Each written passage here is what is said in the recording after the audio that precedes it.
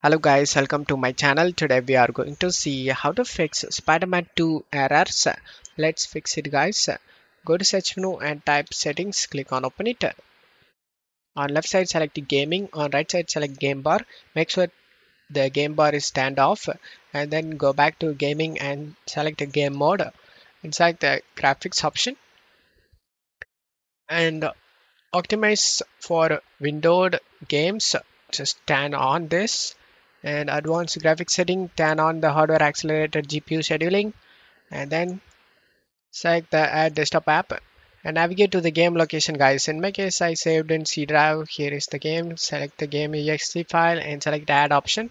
After adding the game just need to select the game and in GPU preference click on the drop down and select high performance and then just close stuff here and right click on the game and select open file location in the game location you just need to right click on blank area and select new and select text document.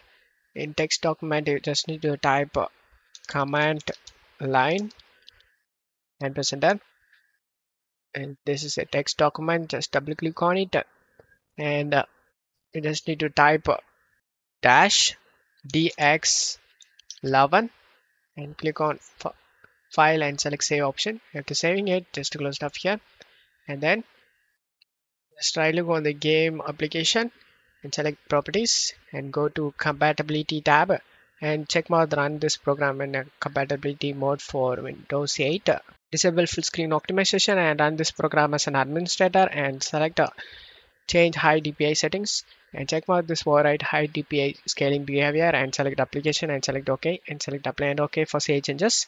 And then you just need to double click on the game and open it go to settings and in monitor click on the drop down and select the correct monitor. And window mode set the exclusive full screen uh, display resolution set this to lowest uh, and aspect ratio auto.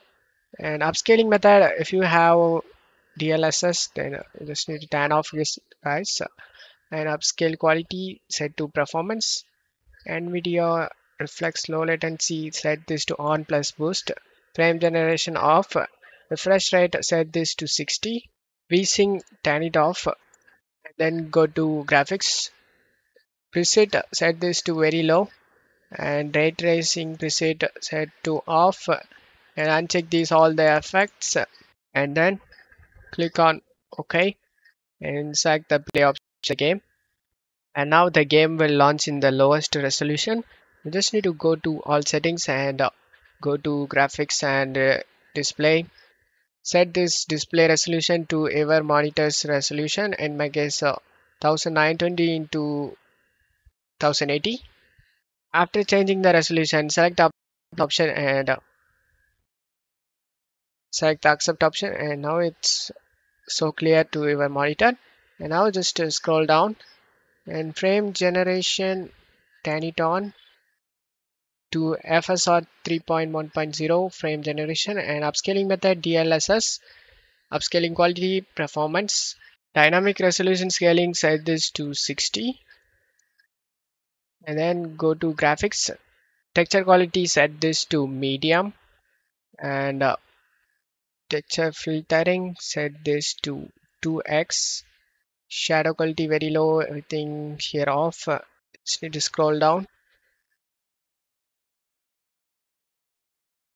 camera effects bloom just turn on chromatic aberration turn it on and vignette turn it on now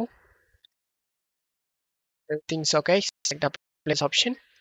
Select the accept option and now you can uh, play the game guys. So just need to check my video description for this video link to make the game even more run smoother you just need to update the graphics driver guys after updating the graphics driver by following this video you can enjoy the game peacefully. No problem at all. If you still having any issues uh, like black screen or crashing problem then a solution shared from reddit. You just need to right click on the game and select open file location and find two files in the game folder called dstorage.dll dstoragecore.dll just cut this both file and paste it in the desktop and launch the game. Now the game actually launched. And lots of people has been mentioned that this fixed for them crashes and black screen. Game opens up guys. And as you can see don't forget to like guys. Thank you